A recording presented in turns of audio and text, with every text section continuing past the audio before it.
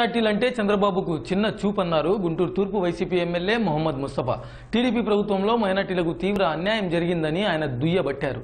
ఒక్క మైనార్టీ నాయకుడిని కూడా మంత్రివర్గంలోకి తీసుకోకపోవడం దుర్మార్గమైన చర్య అని ఆయన చెప్పుకొచ్చారు. నంద్యాల ఉప ఎన్నికల్లో భాగంగా అక్కడ పర్యటిస్తున్న మొహమ్మద్ ముస్తఫా మీడియా సమావేశంలో మాట్లాడారు.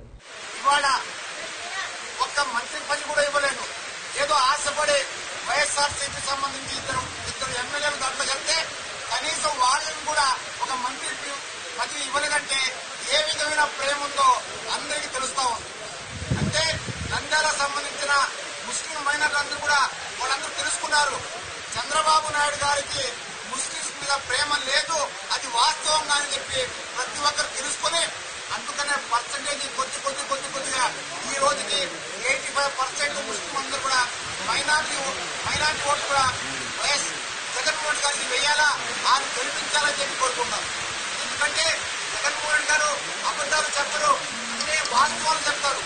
ఎందుకు వాస్తవాలు చెప్తారంటే మరి గతంలో చంద్రబాబు నాయుడు గారు ఎన్నో అబద్ధాలు చెప్పి ముఖ్యమంత్రి అయ్యారు. కానీ జగన్మోహన్ గారు అబద్ధాలు చెప్పలేదు. వాస్తవం చెప్పారు. ఆ వాస్తవం అనుకున్న అనుకున్నానే అపోజిషన్లో కూర్చోరు.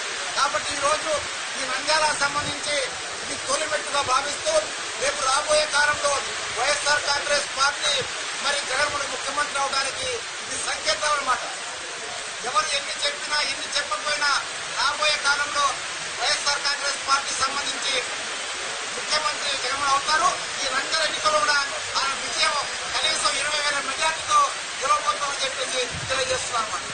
బీసీల అభ్యున్నతితో పాటు అభివృద్ధి కోసం కృషి చేసిన ఏకైక నాయకుడు